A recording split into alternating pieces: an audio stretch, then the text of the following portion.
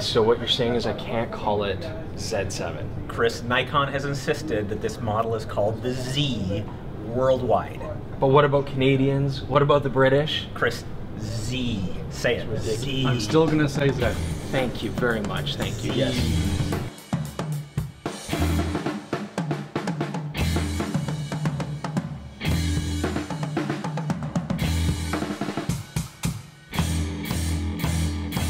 Welcome back, DP Review TV viewers. Chris Niccolls here from DP Review, and today we're actually coming from DP Review. It's awesome. We're actually here in Seattle at the offices. That's because we have a very exciting sneak peek. This is the brand new Nikon mirrorless Z7.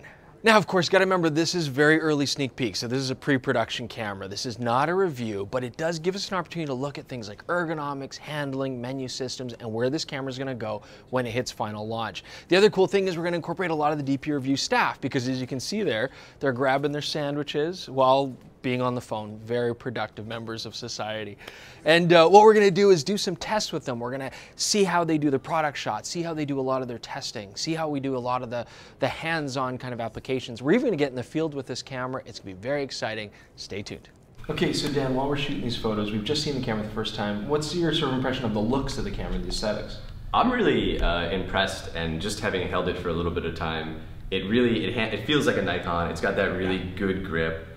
Um, a lot of the controls are placed where I would expect them to be for a Nikon again. But it really does look like a mini SLR in the aesthetics. I mean, do you, do you think that's a positive move? Do you think they should have gone to like a more radical new mirrorless design or a retro design? Sure. I no, I you know, I think it hits it hits it just perfectly. It's not too foreign to DSLR shooters that they're going to be shying away from it. You know, it's still a working tool. It's supposed to be for photographers to use and not just lust over. I'm really excited to get out there and shoot with it. Um, and unfortunately, just shooting product shots is the first step before you get to have That's all you get to do.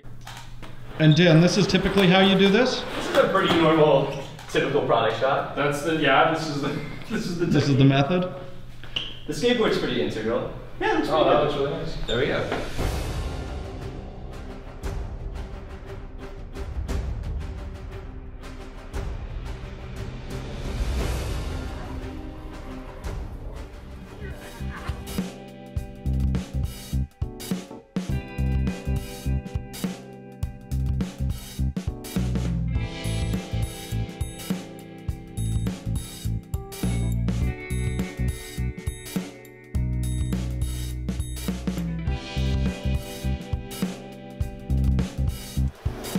We got a great location to test this camera out in May, and uh, let's talk about the viewfinder because I think somebody coming from an SLR, that's such an important part of the interface, right? How do we give it that optical viewfinder to go to an electric viewfinder? So you've been shooting with it a while, what do you think?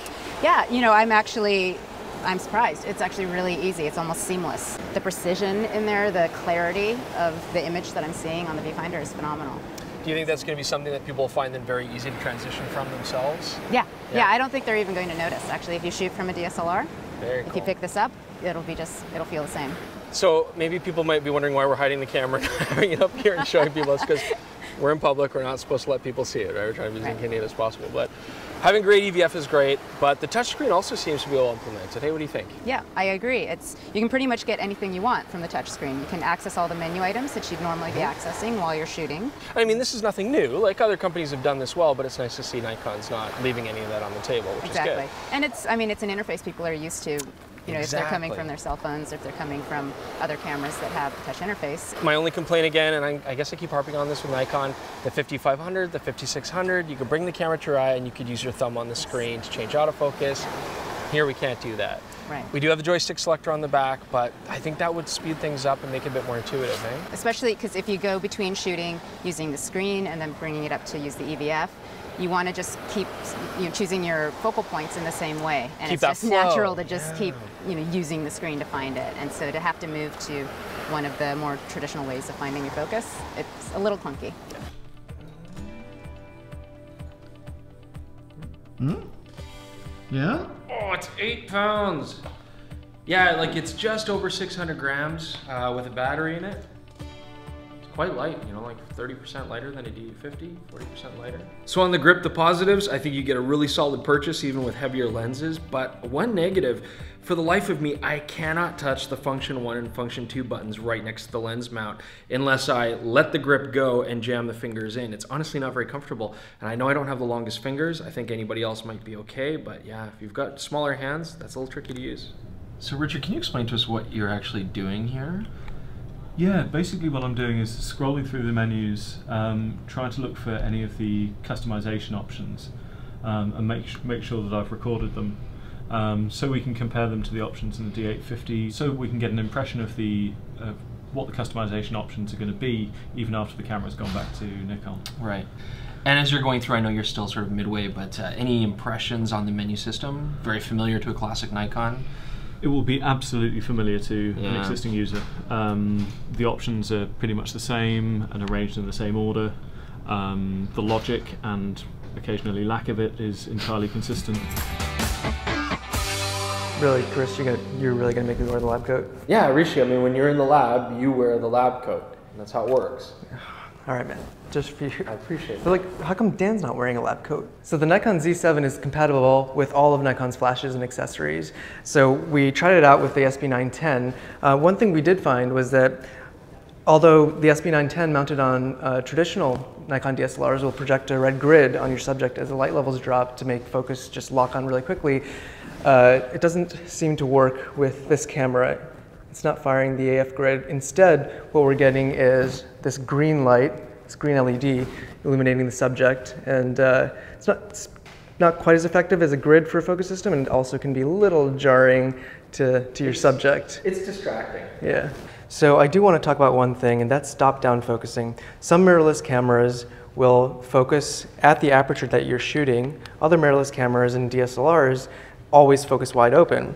This does something somewhat in between. You can see this f1.8 lens, as I'm stopping it down to 2.8, 4, you see the iris closing down, and now I'm at 5.6. But after 5.6, the camera no longer keeps stopping down. It just stays at 5.6. The benefit of wide open focusing is that you give the AF system as much light as you can, which helps it acquire focus very fast.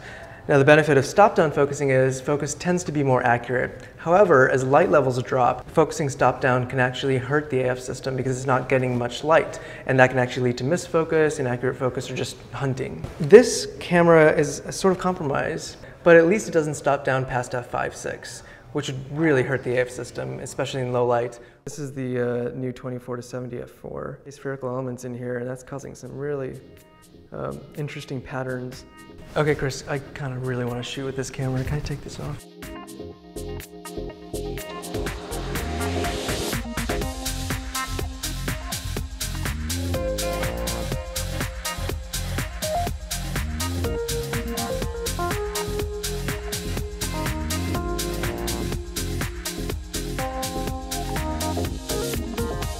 So this one actually boots up pretty quick and fires off the shot pretty quick. So it kind of adds to kind of a feeling of uh, immediacy.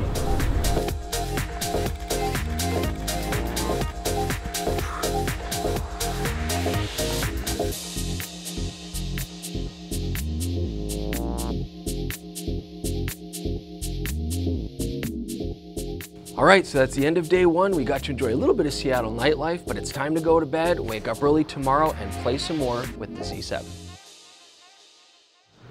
So Barney, what I want to talk about is the lens mount, this new Z mount. It seems like a very simple thing, but it actually has the potential to be one of the most exciting developments on this new camera, right? Yeah, it's a very big deal. The uh, the Nikon F, this is the original Nikon F from 1959, um, introduced the F mount, which has been basically unchanged since then. Right. And this has a mount diameter of 44 millimeters. And compare that to 55 millimeters in the Z mount, straight away, it's a much, much, much bigger mount. Absolutely. So Nikon got a lot right with this in the late 50s, early 60s, but they also put themselves in a, in a bit of a mechanical corner. I've got to remember, I mean, companies like Canon, when they switched over to the EF mount, they went way larger. I know it ostracized a lot of the older users of the of the you know old mount, the bayonet mount, but it did give them potential to make new optical formulas. It did, and especially brighter lenses as well. Mm. The Z mount is much, much more future-proof and also allows for very, very fast lenses. We know there's a 58mm f0.95 Noct on the way. Now with that wide mount and the fact that we've got that 16 millimeter flange distance, it also opens up a lot of potential for adapting other lenses. It does. right? This is probably looking like the most adaptable mount of any at this point. There's nothing that you can't adapt, assuming the availability of adapters onto the Nikon Z system. This is how it looks because it's so wide and so short. Very cool. So on the Z7, I think one of the nicest things we've seen now, it is confirmed, inbuilt in-body stabilization. Yeah, and that's something we really saw that readers wanted. We started, um, we ran a poll when Nikon started teasing the whole campaign, and one of the top five answers was in-body stabilization. So people will be really happy to see that. Fantastic to see it. So it sounds like a really powerful system. Uh, you'll get five stops and five axis stabilization with a native Z mount lens. And you'll still get three axis with the adapted lenses. I think the other cool thing that's really interesting, especially from a user's experience standpoint, it's locking the sensor up too if you want to do things like clean it or transport it, things Mm-hmm. yeah, like that. put it on a gimbal. Right, absolutely. Yeah, so it sounds like a very well thought out system. Uh, I'm excited to try it when we get full production. Yeah, we are too. Ultimate torture test for autofocus. Toddlers. The worst case scenario, we can put the bow on Chris and have him run around. One thing I'm finding as I'm doing the AF tests um, with our toddler is that uh, one of our favorite things about Nikon DSLRs, which is 3D tracking, um, is kind of just missing from this camera.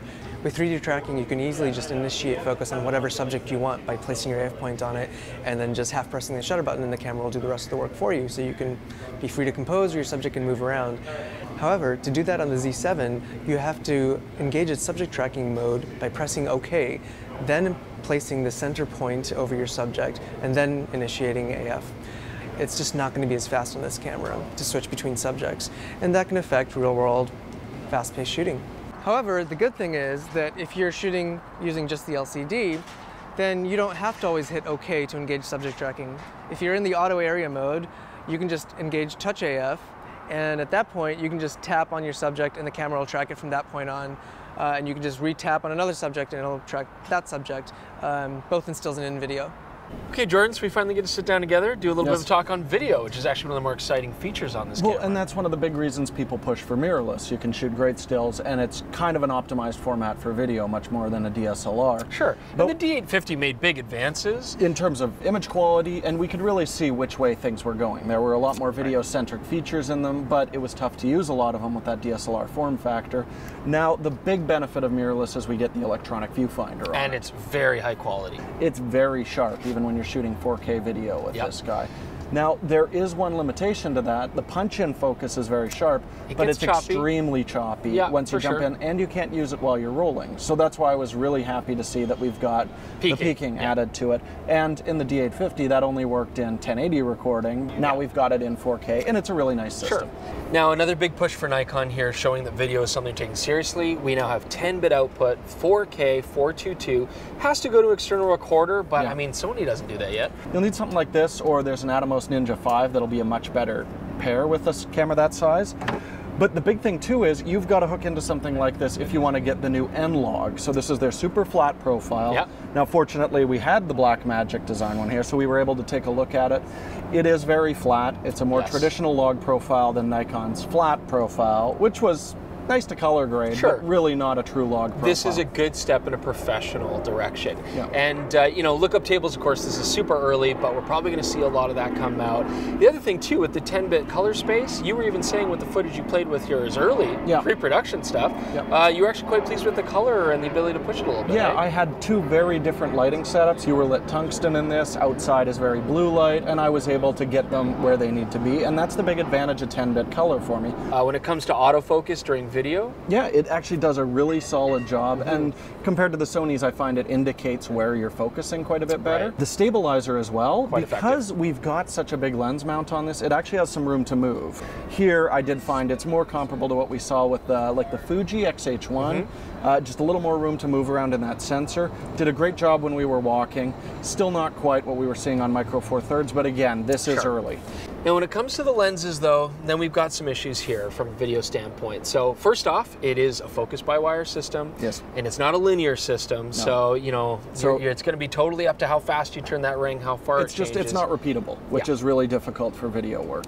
And of course, I don't mind it because I'm a long-time Nikon user, but you you're going to dislike the direction that the Nikon travels, and so far it seems to be fixed in the rotation, Well, just opposite from what a lot of It depends on videographers what your background is. If you're a videographer, it focuses backwards. All video lenses focus the Canon direction. But if you're a Nikon user moving into video, then it's not going to bother you. But let's remember, it's electronic. Why not just give me the option to flip the direction in the menu like Olympus Hopefully, does? we'll see that in the future. Now, from a handling standpoint, uh, you've got some nice features. Of course, headphone jack, mic jack, that has to be Necessary. given. Yeah, and the screen actually in the back is really nice. Touchscreen interface is quiet and it's very usable. Yeah. Uh, the screen is high res, but unfortunately, we still just have that vertical articulation. Exactly. So No yeah, this is not going to be the vlog camera of choice. It's tough for you know us talking to camera. Something like that would be a little more difficult. I do find with the GH5, I'm always going to the EVF to confirm focus. It's great to know you can check your focus whether on the LCD or the EVF with this camera. Right, because the Z7 has such a high res screen on the back. Exactly. Yeah, all in all, very nice, thoughtful video features. It's a, definitely a good push in the Exactly. right. Between this and the D850, we can see Nikon starting to take video more seriously. All right, Carey. Well, I think it's conclusion time. But before we get to that, I just want to say, Jordan and I had a really great time out here. It was it was fantastic to finally get out here, see the whole team, and have this like early sneak peek at this brand new exciting camera. Absolutely, I agree. I mean, one of the things that Nikon is looking to be a differentiator with is how the camera really feels in your hand, right? I mean, what did you think about that? Great grip, interesting features. I think overall we can all agree the interface for the most part is really well done. You know, I mean, some of the function buttons were hard for me to press, but viewfinder's excellent. Yeah, you know, LCDs are excellent. Touchscreen interface is super polished, super absolutely, responsive. absolutely. But you have to rely on it. You do a little bit more, more so than if you're coming from a D850 to this. There's going to be a little bit more reliance on on the touchscreen with the customizable menu, which is good. Yes, that's a Uh, nice but- change. But that's definitely a little bit of an adjustment for existing users. So I, I guess the thing is this. I mean, we have to remember this is still pre-production. We're going to do a full review on this camera. This is just a sneak peek and an early look. But some of the takeaways, image quality seems like it's pretty awesome. I'm pretty impressed with the lineup of lenses they've started us with. It's clear that you know, Nikon is really jumping in with both feet for this uh, for this system. Yes, but we've got to address the sort of main issue, which is okay, this is not an SLR. You got a lot of people coming from SLRs. Is this camera going to be something that is seamless, or is this going to require some adjustment? I mean, what do you think about that? So I think I think there's it's a little bit of a two-way street there. I think that it is going to win people over. I think that in a lot of ways there is uh, some seamlessness with you know the grip. The menus are very familiar. Yes. And the image quality is up there with the D850 in terms of Right. image quality for this particular model. The autofocus system is a little different, and I'm you know we, we can't make any big bold claims about autofocus performance Not right yet. now. Although Um, we've got Richard just uh, riding around his bike, and he's, we're doing more tests. Yeah. See how it actually performs. But one of the things that struck us is the uh, the interface for autofocus is much more like it's it's using a Nikon DSLR in, in live view sort of a system, as opposed to really kind of trying to adapt the DSLR optical viewfinder system into a mirrorless. So while the system you know preliminarily performs very well, the you know the vernacular, the settings are a little bit different. So it's going to be a bit of an adjustment for people coming in. Gotcha, gotcha. Well, thank you so much. Um, had a really good time. Otherwise, again, hopefully you guys enjoyed that sneak peek on the new, uh, I have to say it right, Z7. That's, I still can't do it. but uh, thank you so much for joining us. Again, remember, leave comments below, check out the Instagram feed, go to dpreview.com because this is a big announcement. There's going to be a lot of information out there. Check the articles out, check the sample galleries out. Tweet to us, Instagram, let us know what you think. Otherwise, I'll see you guys soon. And hopefully with a full review on this brand new camera.